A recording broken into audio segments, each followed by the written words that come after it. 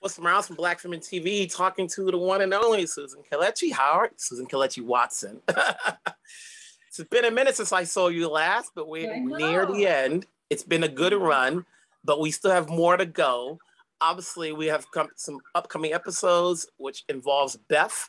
So, what's that feeling like? As I understand, you are part of the writing crew on one of these episodes. I am. The next episode that is coming up on February 22nd is the episode that I co-wrote with Ebony Freeman.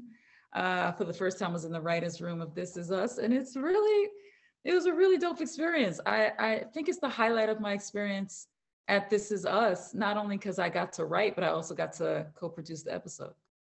Uh-huh. And then talk to me about, you know, obviously the evolution of Beth and at what point throughout the seasons did you know they were going to give her more to do this than just playing Randall's wife, that you would get more involved and we would get a backstory and so forth. When did that happen for you? I think it was around season two when they started to say, oh, we're going to start to write a Beth backstory and we're going to kind of tell her story. I feel like that's when I, that's when Rachel came into the scene who plays uh, teenage Beth. And um, and that's when I, I, be, I, believe Little Island Girl was season three, maybe season three or four. And so, yeah, that's that's when the rumbling started happening. Uh, I guess the rumbling started happening before then, but then they were like, it's definitely going to happen, like in in season three. So, um, yeah, when I first started the show, I didn't know much about her or where she would go. So the evolution has been, you know, a really cool thing to see and and be a part of because uh, we all knew so little about her in the beginning and now we know a whole lot about her. If you if you had to choose outside of the writers would beth be a dancer or would she be somebody else? No I, I i do dancer. I mean i used to be a dancer and i i wasn't shall look? I listen i i went to schools with people who are out there killing it you know even now. So i knew I wasn't the best. I, I was good. I, I can say that I was not the best. And so I wanted to do something that I felt that I was better at. And I think that's how I fell more into the acting side of it. And I've always loved acting, but I love dance. Like it was like a second language for me. Um, but again, you know, I went to Howard and I saw people, I saw people dance. I was like, oh, they do it like that? Okay, no, let me go on over here and learn some Shakespeare. And so I switched up in that way. But the story that happened to Beth is so similar um, in terms of like, you know, there was a lot of body shaming in that culture and things that, um, especially as a Black woman and the construction of my body just made me feel uncomfortable the way that people were making me feel. And so I stepped out of it because of that. But then when I went to, um, you know, an HBCU and saw women of all shapes and sizes like doing ballet and killing it and doing, all types. And I was like, well, why was they telling me I couldn't do it? So it it does resonate with me. It also resonates with Ebony, who I co-wrote with because she was a dancer as well and came up against those same, you know, boundaries and, and restrictions that people were trying to put on her.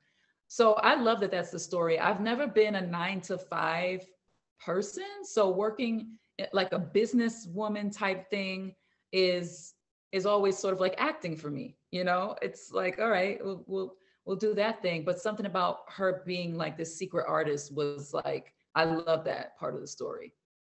In writing uh, along with ebony you know were there any were there any jitters you know? Because you as opposed you know it's one thing you got the acting down on point. So now it's writing and people see that credit you know which hopefully could lead to more work.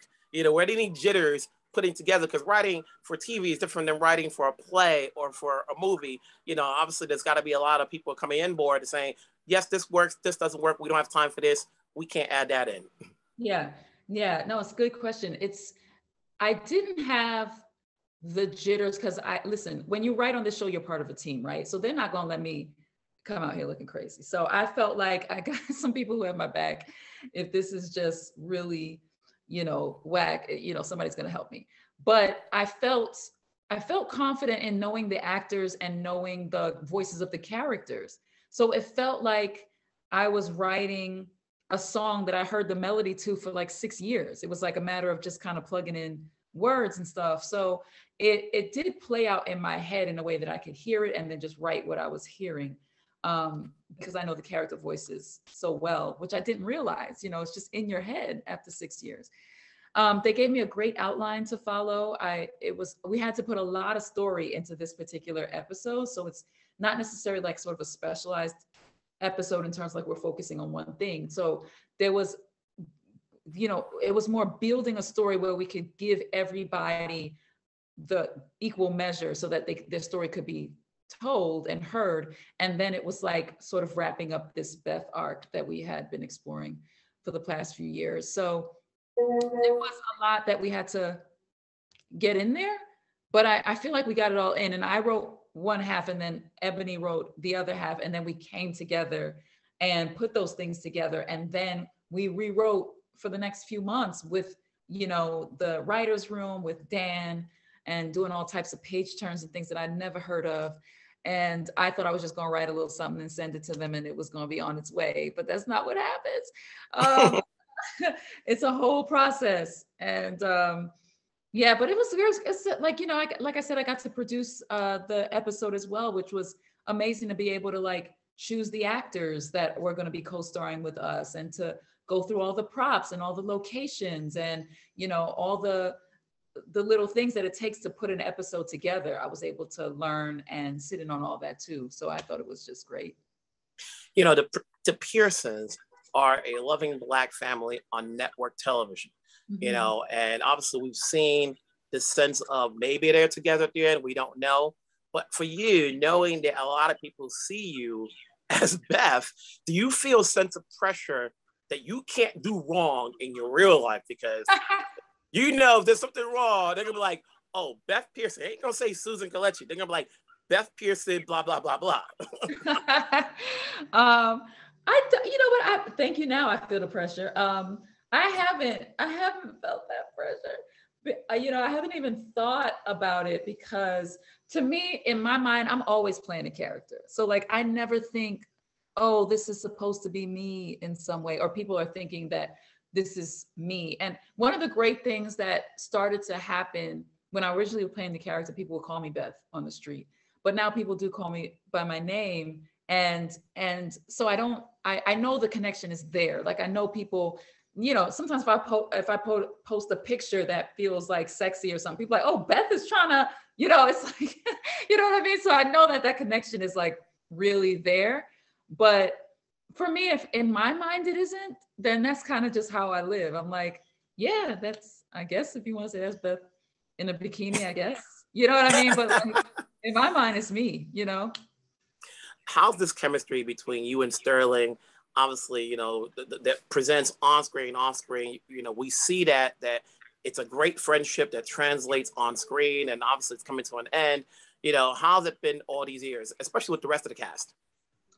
Um, yeah, it's wow. It's it is that thing where it's, it's starting to hit me now, and you know, I I gotta say this. I really don't know that I could have been more blessed than to have worked with Sterling. I, I don't know. You know, I it truly feels like uh, a really sort of perfect moment, you know. And I'm I'll, I'll I'll always be so grateful for that, for the impact that we've had playing this couple is just something I can't even really put words to yet. I think that might be the thing that I'm that sort of hasn't hit me the most, you know.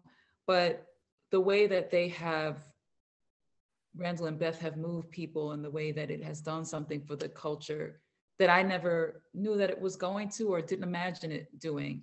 Um, to become a part of that, to become a part of like the pantheon of like our culture and what that is, uh, just means the world to me because I know that I was always looking for something like that growing up and watching TV and searching for our images wherever I could find them. Um, the fact that somebody doesn't have to search, you know, and we're part of that means um, doesn't have to search the way they used to, put like that.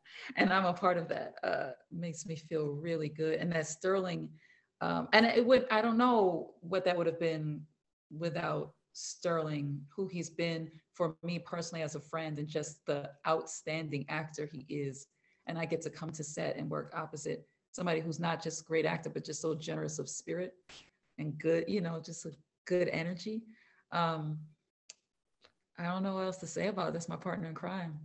you know, Susan, it's a pleasure speaking to you. It's a pleasure speak seeing you. You know, I don't know if you are aware, we share the same birthday. Do we? Come on, Scorpion season. You know, small world, small, small world. world. I love it. Oh you man, know? well, I'll be wishing you happy birthday. so, yeah, so come November, whether we're you're in LA or New York, maybe we'll give you some a shout out. But either way, you know, whatever you do, I'm always there to support, as I've always done. So keep doing your thing. We're here to watch you every Tuesday, wherever you ever may be at. Take care, stay safe. We'll yeah. talk down the road. And I appreciate you and all your support, Wilson. I really do. Thank you. All right, go have fun.